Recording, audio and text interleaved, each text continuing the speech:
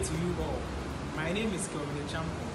I'm the Youth and Children's Coordinator for the Adenta Community Library, managed by the Women Assistance and Business Association, also known as WABA.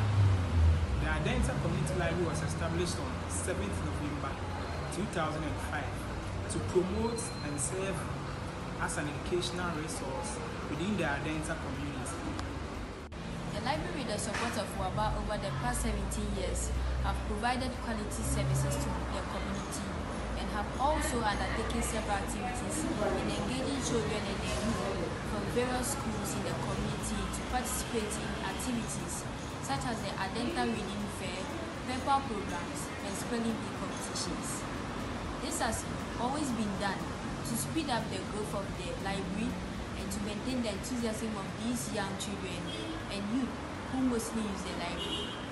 As time went on, management recognized the need to introduce the adult library to benefit adults who also wish to use the library.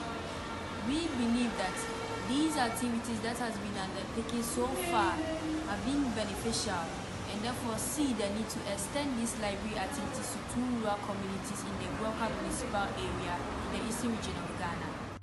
As part of our primary focus, this will give us the opportunity to speak to the young children and youth on the topic peer educators and COVID-19 health education and prevention. In as much as these young children and, and youth are being engaged in library activities, we also get to speak to them about COVID-19.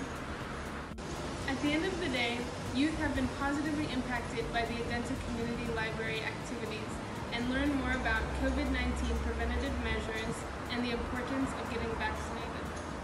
This is why we count on your support in making our goals and aspirations a success. We count